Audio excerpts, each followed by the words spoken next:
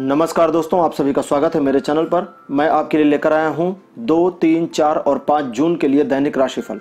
आइए शुरू करते हैं और देखते हैं आपका आने वाला दिन कैसा रहेगा। पांचवी राशि लेते हैं, सिंह राशि यानी लियोस। दो जून का दिन आपके लिए भाग्यकारी रहेगा। किस्मत आप पर मेहरबान रहेगी। इसलिए आप अगर किसी काम को हाथ में लेते हैं तो वहाँ आपकी सफलता के चांसेस बढ़ जाएँगे। लेकिन इस बात का विशेष ध्यान भी रखिएगा कि अगर आप अपने मन में निगेटिव भावनाओं को लाते हैं तो उन निगेटिव भावनाओं के भी बढ़ने के संयोग बन जाएँगे। किस्मत आपके ऊपर जब मेहरबान होगी तो इसका यह अर्थ नहीं है कि आप अपने कर्म को भूल जाएँ। कर्म आपको फिर भी करना पड़ेगा। आपके कर्म के परिणाम स्वरूप ही भाग्य आपको सहयोग देगा और प्रतिफल देगा। तीन जून के दिन आप अपने आप को नियंत्रित करने में बड़े ही सफल रहेंगे। खुद के ऊपर आपका नियंत्रण इतना अच्छा होगा जितना आपने पहले कभी सोचा नहीं होगा। इसलिए कोशिश करें कि स्वयं में कुछ परिवर्तन इत्यादि करना चाहें तो उसके लिए तीन जून सबसे अच्छा दिन है।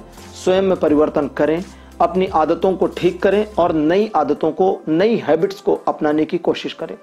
हालाँकि अगर आप इस दिन किसी व्यक्ति को प्रभावित करके अपना काम करवाना चाहते हैं तो इसमें भी आपको सफलता मिलेगी, यहाँ संदेह नहीं है। चार जून के दिन आप अपने आप में एक हल्की निराशा का अनुभव करेंगे। ये निराशा इतनी ज़्यादा गहन नहीं होगी कि आप इससे परेशान हो जाएँ, लेकिन इतनी कमज़ोर भी नहीं होगी कि ये आपको इग्नोर करने दे। आपको ऐसा फील होगा कि जीवन में कुछ चीज़ें हैं जो आपसे छूट गई हैं और जिन्हें अभी भी हासिल करना आपके लिए बचा हुआ है। आपका सोचना और आपके मन में आए ये विचार बिल्कुल सही हैं। आपको अपने आप पर और ज़्यादा नियंत्रण स्थापित करने की कोशिश करनी चाहिए। और साथ ही साथ खुद को पॉजिटिव रखने की भी कोशिश करनी चाहिए, क्योंकि जब एक बार निगेटिविटी आप में घुसना शुरू करती है तो निगेटिविटी मल्टीप्लाई होती चली जाती है और आप उसे थाम नहीं पाते हैं। तो यहाँ थोड़ा कंट्रोल करने की कोशिश करें पाँच जून, हालाँकि बिल्कुल बढ़िया दिन रहेगा। परिवार व मित्रों के साथ एक सेलिब्रेशन उत्सव जैसा माहौल आप एंजॉय करेंगे। परिवार में कुछ ऐसा होगा, एक ऐसा वातावरण होगा, जिसकी वजह से सारे दिन आपका मन खुशियों से भरा रहेगा। एक प्रकार से ये कह सकते हैं कि इस दिन को आपको खाली नहीं जाने देना चाहिए, अपने हर्ष और उल्लास के साथ में ही इस दिन को बिताना चाहिए। अगर आप अपने व्यक्तिगत संबंधों में कुछ नया चाहते थे या प्रगाढ़ता चाहते थे तो वहाँ भी पाँच जून का दिन आपके लिए बड़ी मदद करेगा।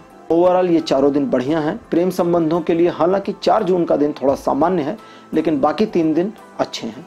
तो दोस्तों यह था दैनिक राशिफल। दो, तीन, चार और पाँच जून के लिए।